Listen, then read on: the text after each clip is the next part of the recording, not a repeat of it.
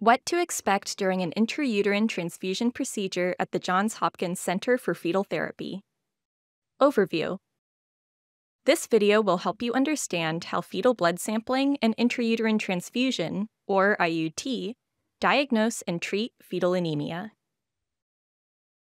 Fetal anemia is a condition where the developing baby has an unusually low amount of red blood cells and hemoglobin, which the baby needs to carry oxygen to the tissues. If the pregnant patient's maternal fetal medicine doctor suspects that the baby has fetal anemia, they may refer their patient to a specialized care center for evaluation and possible treatment. Your IUT team. Your team will walk you through each step of the IUT procedure and you will have the opportunity to ask any questions to ensure you're comfortable with the process. Many skilled caretakers take part in the procedure to make sure it goes smoothly. Teams usually include a sonographer, who specializes in ultrasound scanning, a doctor in charge of the procedure, and nurses that test any samples, assist with giving the baby blood, and record the procedure. If the patient is in an operating room, an anesthesiologist may also be present. The patient can also bring along a support person who will stay in the room the whole time. Preparing for the IUT. The goal of an IUT is to first take a blood sample, then give the baby new blood. During an IUT, the patient is usually awake, lying down, and kept warm and comfortable with blankets. Local anesthesia helps numb the skin and the area all the way down to the uterus. Additional pain medication can be given at any time to help with discomfort. Before the procedure starts, an ultrasound checks the baby's position and informs where the needle should be placed. Most often, the doctor targets the umbilical vein, which brings blood and nutrients from the placenta to the baby.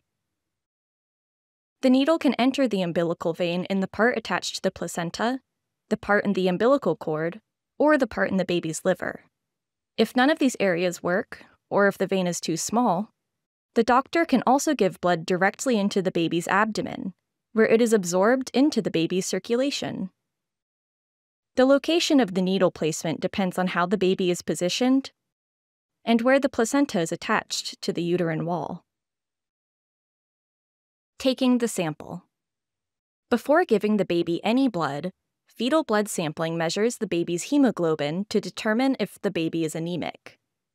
Guided by ultrasound, a needle enters the umbilical vein and draws a small amount of the baby's blood. While the results are calculated, the doctor gives the baby medicine to temporarily slow their movement.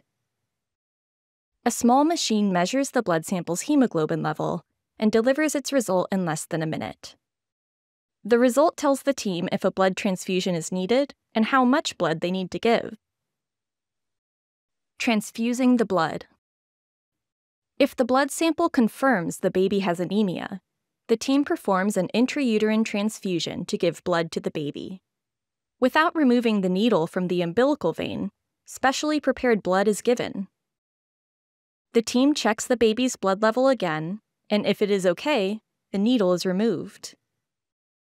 The patient and their baby stay at the hospital for a couple hours for monitoring, and once their care team clears them, they're good to go until their next appointment. Summary Fetal blood sampling diagnoses fetal anemia, and intrauterine transfusion, or IUT, treats it. A sonographer, doctors, nurses, and the patient support person make up the care team. The preferred place to give or take blood is through the umbilical vein, connecting the baby to the placenta. Based on the reason for fetal anemia and gestational age at the first IUT, the procedure may need to be repeated during the pregnancy. We understand that this procedure can be overwhelming, but your team is here to ensure the safety and comfort of both you and your baby every step of the way.